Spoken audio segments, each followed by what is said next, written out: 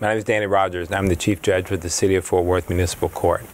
In 2018, we started the program that we call Warrant Forgiveness. We didn't like the idea of Warrant Roundup, which has been used for years in, in Texas to bring, bring uh, emphasis to people paying their tickets. So we came up with Warrant Forgiveness, and along with that, we came up with what we call Courts in the Community. Warrant Forgiveness, under the legislation that had been changed just recently at that time, allowed judges to have a lot more discretion about waiving or lifting or eliminating warrant fees and other fees that are associated with a, with a Class C traffic ticket. And along with that, we develop court in the community where we actually take the personnel from our court and we go out into the community of Fort Worth. Uh, each year since then, we've done it with a special emphasis in the month of February, and we go to at least eight different locations within the city. And we also have adopted that as a project of our court ongoing throughout the year. So we will schedule with other events or with community centers and go out and set up court so that people can get to us. We go to them, so it makes it easier for them to come in and take care of their traffic tickets and any other tickets they have with the city of Fort Worth. How many uh, warrants or open tickets did you have when you came in today? Just one. Two. Six. Eleven. Fifteen.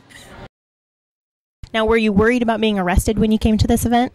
No, I heard um, a couple friends that said they didn't get arrested, so I just went on and took the chance. I believed them when they said that it would just be forgiven, and I didn't have a fear of being arrested.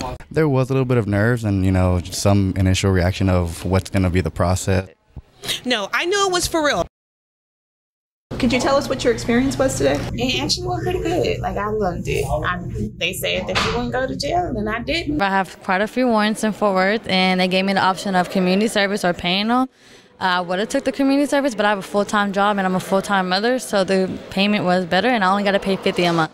It was good. Uh, I came in early, so there weren't a lot of people. That would be my advice: get here early, and I got out pretty quick. What does that mean to you? And you don't have to worry about getting pulled over and those guys coming to get you. Definitely, especially when my daughter has seen me get arrested before, and that was a scary moment for her. So definitely don't have to worry about that. Knowing that I'm having a payment plan and getting my stuff taken care of. I'm clear to drive home per the judge. And would you refer a friend or would you tell some family members about it today? Absolutely, absolutely. Yes. I already have. Oh, yes, I will. I'll tell plenty of people too.